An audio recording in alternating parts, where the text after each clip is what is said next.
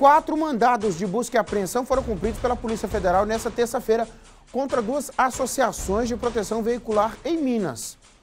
Uma das empresas é sediada na capital mineira, né? Já a outra em Ipatinga, no bairro Horto. A Gisele Ferreira está de volta para contar sobre isso aqui, Gisele. Uai, cumpriram quatro mandados, né? Isso mesmo, Nico. Uma empresa daqui de Patinga, no Vale do Aço, que atua neste mesmo ramo, também foi alvo dos policiais. Segundo a Polícia Federal, as organizações não são autorizadas a operar no mercado de seguros pela Superintendência de Seguros Privados. Ainda assim, de acordo com a Polícia Federal, as empresas comercializavam e desenvolviam operações de operação veicular com recolhimentos prévios como se fossem prêmios de seguro. Essa atividade é exclusiva de seguradoras legalmente autorizadas, conforme a polícia.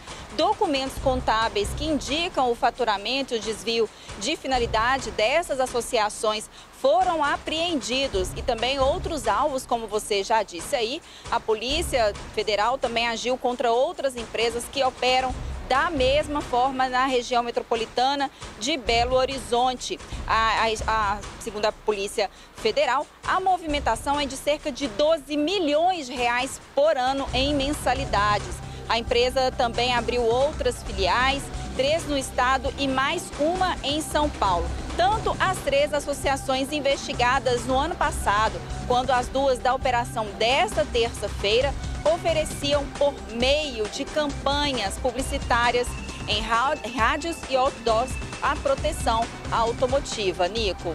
É que na verdade não acontecia pelo jeito, né, Gisele? Faziam o contrato, celebravam o, o contrato, né? O contrato tem duas partes, né? Ah, mas às vezes tem uma letra pequena lá, né? É chamado na lei de contrato leonino, né? Que é feito para prejudicar a outra parte, né? É sinalagmático. Eles falam assim: tem dois lados que assinam, né? Os dois têm que ganhar, ué.